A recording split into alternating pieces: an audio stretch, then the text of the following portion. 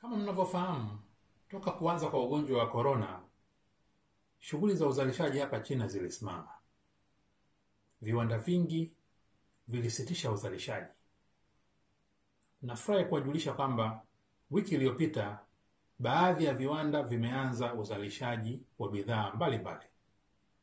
Hatua hii imepelekea shughuli za biashara na uchumi kuanza kurejea hapa China. Nitoe rai kwa wafanyabiashara wa Tanzania ambao shughuli zao zinategemea hapa China.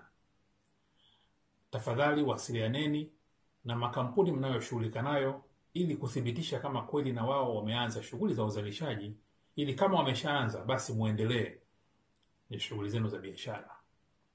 Vile vile nitoe rai kwa wafanyabiashara wa Tanzania waendelee kuvuta subira. Huu ugonjwa bado upo na mapambano yanaendelea. Kwa hiyo mipango yao ya kusafiri kuja huku waendelee kusubiria kwanza hadi hapo hali itakufikia mahala pazuri pa uhakika kwamba unaweza ukaja hapa na ukawa salama. Lakini kwa wale ambao wanalazimika kabisa kabisa lazima waje China kipindi hiki, rai yangu kwao, chukueni tahadhari. Mkifika hapa, zingatieni masharti ya miji mnayokwenda, lakini vile vile mzingatieni masharti ya msingi ambayo yamekuwa yakitolewa, ikiwa ni pamoja na kuzingatia kanuni za usafi, kunawa mikono kila wakati, kutogusa uso.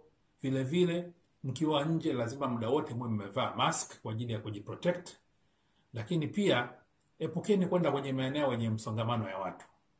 Kwa kufanya hivyo, mtakuwa mmejilinda nyinyi wenyewe, lakini pia mmewalinda ndugu zenu walioko Tanzania ambako mtarejea.